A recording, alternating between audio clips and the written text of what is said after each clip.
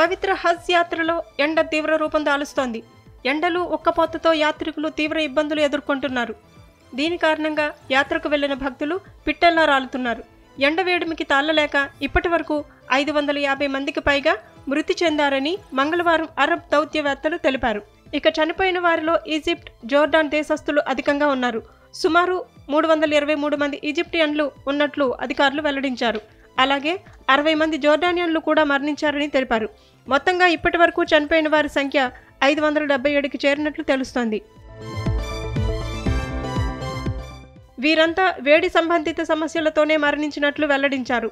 వేడిమి నుంచి ఉపశమనం కలిగించేందుకు అక్కడి అధికారులు చర్యలు తీసుకుంటున్నా ప్రాణ నష్టం తప్పడం లేదు. ఇక మక్కాలోని అతిపెద్ద ఆసుపత్రిలో ఒకటైన ఆల్ ముయిసెమ్ ఆసుపత్రి మార్చురీలో మొత్తం ఐదు వందల యాభై మృతదేహాలు ఉన్నట్లు దౌత్యవేత్తలు తెలిపారు. వేడి సంబంధిత సమస్యలతో బాధపడిన సుమారు రెండు వేల మంది యాత్రికులకు చికిత్స అందించినట్లు సౌదీ అధికారులు తెలిపారు.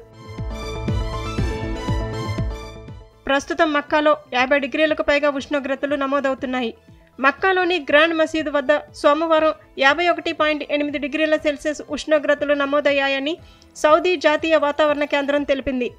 దీంతో హజ్ యాత్రకు వెళ్ళిన భక్తుల కుటుంబ సభ్యులు ఆందోళన చెందుతున్నారు. కాగా ప్రతి దశాబ్దం సౌదీ అరేబియాలో సున్నా పాయింట్ నాలుగు డిగ్రీల వేడి పెరుగుతుండటం ఆందోళన కలిగించే అంశం. గతేడాది కూడా హజ్ యాత్రలో రెండు వందల నలభైకి పైగా మరణాలు నమోదయ్యాయి.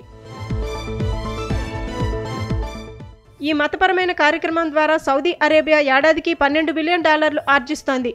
విజన్ ట్వంటీ థర్టీ రోడ్ మ్యాప్లో భాగంగా సౌదీ అరేబియా ట్వంటీ థర్టీ నాటికి హజ్ ఉమ్రా రెండింటి ద్వారా మతపరమైన పర్యాటకుల సంఖ్యను ముప్పై మిలియన్లకు పెంచాలని లక్ష్యంగా చేసుకుంది.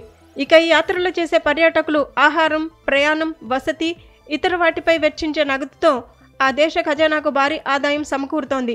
హజ్ ఖర్చు ఒక వ్యక్తికి మూడు వేల డాలర్ల నుంచి పదివేల డాలర్ల మధ్య ఉంటుందని అంచనా.